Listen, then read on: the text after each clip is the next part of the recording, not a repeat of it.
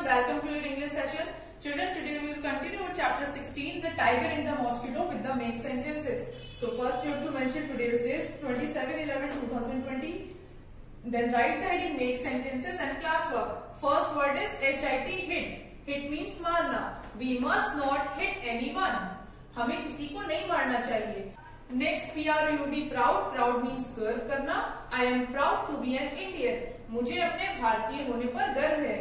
Third is G R E T great great means महान और having good qualities so Mother Teresa was a great lady Mother Teresa एक महान lady थी। Fourth one is A N G R Y angry angry means नाराज़ या गुस्सा होना। So Rita gets angry very easily Rita बहुत जल्दी नाराज़ हो जाती है। Okay kids so this way you have to note down all four sentences and try to learn them. Thank you kids. Bye-bye.